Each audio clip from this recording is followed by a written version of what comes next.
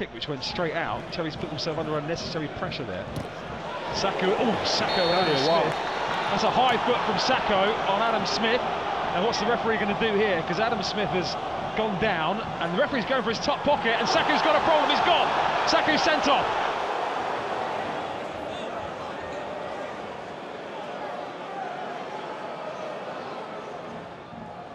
Here's Solanke, will break off, come back to that in a second. Jefferson Lerma now, 25 yards out, finds the ball to the right-hand side. Harry Wilson onto his right foot, drives it across the six-yard box. Oh, and put wide at the back post by Callum Wilson.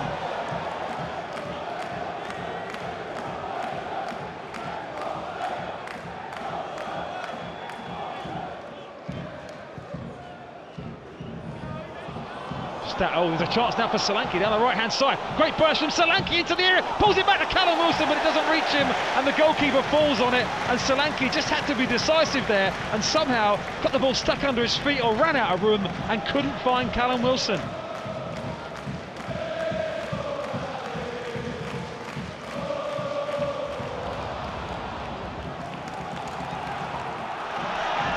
Here comes Schlupp from left back now. He's driving forward. Here's Jeffrey Schlupp. Shoots for goal! The substitute Schlupp! And the 10 men of Palace have broken through.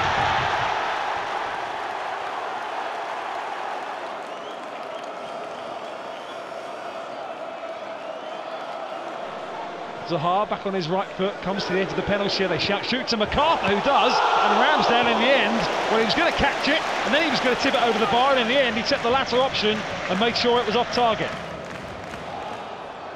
Back to Fraser, square to the top of the box, and Lerma. Lerma's going to shoot, drives it for goal, deflected. Guaita makes the save. Callum Wilson comes across, and it's going to be a corner. And at last, Guaita had to make a save, but it was off a deflected effort from Jefferson Lerma.